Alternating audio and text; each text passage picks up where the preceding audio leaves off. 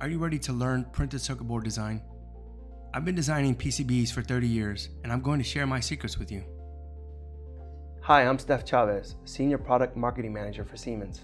Welcome to the third best practice video regarding PCB design, where we'll outline digital prototype driven verification with regards to analysis as well as the domain specialist.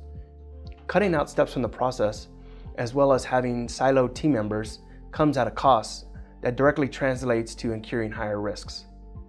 When it comes to digital prototype driven verification, what really matters is eliminating prototyping with automated design reviews, evaluating um, multidiscipline trade-offs, and to empower design engineers with accessible technologies that reduce dependency on experts, and as well as uh, co-optimization of silicon package and board systems out of all the years I've been designing boards, know, when it comes to analysis, um, I, I strongly feel this needs to be done.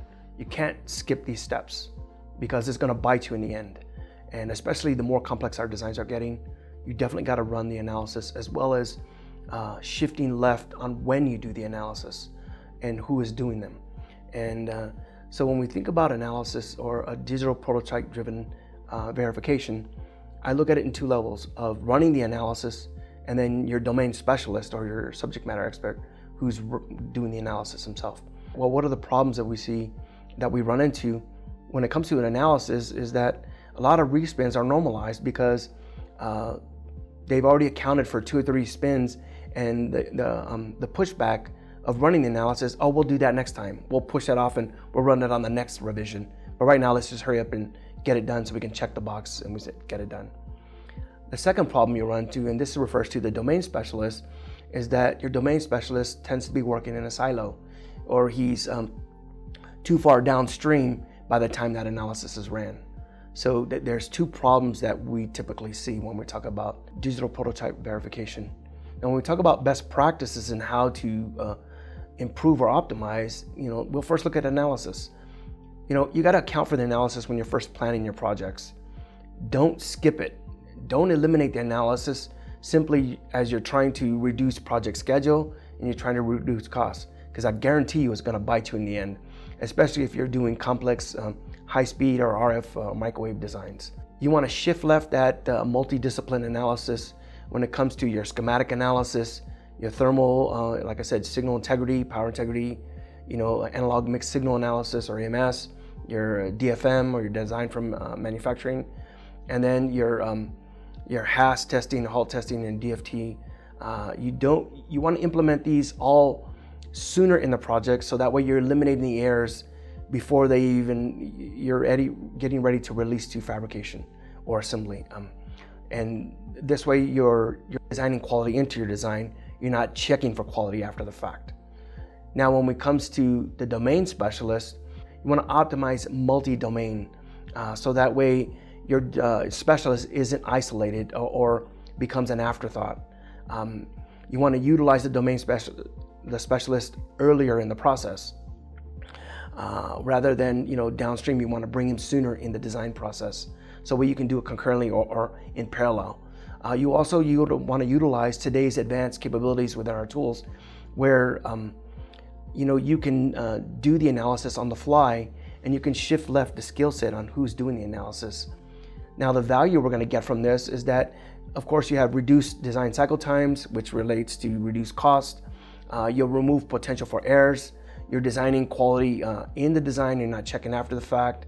And when I talk about removing potential for errors, uh, you're removing them not just uh, for fabrication, but you're removing them downstream. And even when you get into the lab and you're firing the board up, or when you get into your EMI testing, is the board going to pass?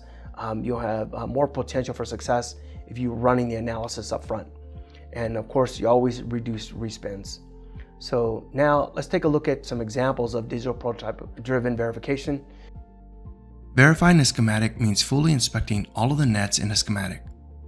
In Xpedition, this is done by using an extensive component library of intelligent models, saving design teams hundreds of hours of manual efforts in visual inspection and lab debug time, leading to reduced project schedules and cost. This analysis is even able to validate signals across multiple boards in a system. Once complete, results are shown in an intelligent fashion to allow post processing and enable quick fixes to any errors that are found. Locating critical issues is easy as users have the option to cross probe back to their schematics to the problem area. Running simulation of critical signals on a board can save time later on in the design cycle. In the Xpedition flow, analysis can be done early on, even while teammates are finishing the work on other parts of the design. Simulating early allows teams to build constraints for critical nets so that issues can be avoided. Launching a simulation from the schematic is easy. In the case shown, the user is running a simulation on some DDR nets, specifically the DQ and DQS nets, so that he or she can provide accurate constraints to teammates. Using the DDR wizard means that the user has control of the parameters, such as how many bits will be simulated. Once the simulation is complete, an easy to read HTML report is created. This allows the user to see what lengths make sense to use as constraints that will satisfy both the data read and data write. With the simulations complete, the results as well as the constraint template can be provided to teammates for use in the defining constraints of the design. Once routing is complete in the design, an electrical rule check can be ran, helping users to identify any potential post layout issues that may exist that would affect the signal integrity of design.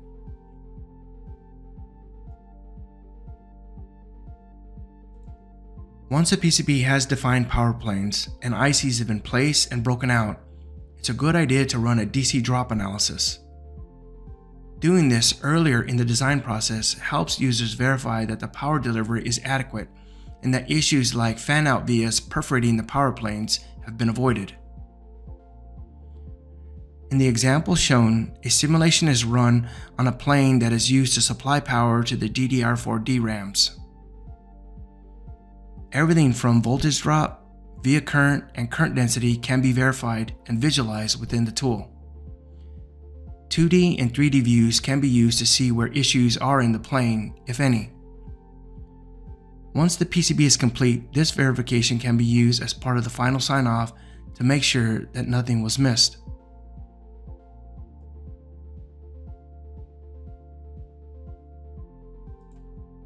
Exploring the thermal characteristics of a design can be done as soon as board 3D geometry is created, not necessarily when the design is complete.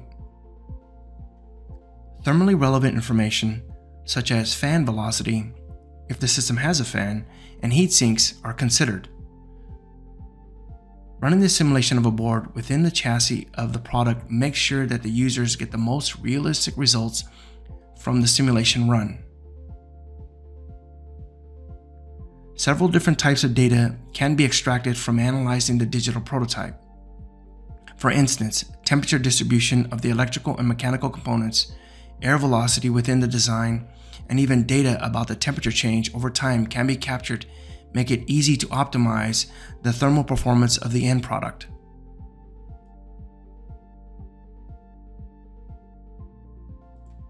Catching potential assembly and manufacturability issues early in the design process is essential to minimizing design respins. With Xpedition, DFM analysis can be run from within a design layout. Users can fine-tune constraint sets to meet their needs. They also control which checks are run at each stage of the layout. Viewing the results of the DFM check is the same as checking the results of a DRC in the tool, and since the results are shown in layout, issues can quickly be addressed by cross-probing to the problem area of the board. Analysis can be run repeatedly at any time to make sure no new issues have been introduced and any that were found previously are resolved. This enables engineers to evaluate multidisciplinary trade-offs early in the design cycle, resulting in lower costs of testing and higher product reliability. Thanks for tuning in. Next time we'll cover uh, the best practices that include system level model based engineering. When do you incorporate analysis into your design process? Comment below to start the discussion and continue to follow along to learn more PCB design best practices.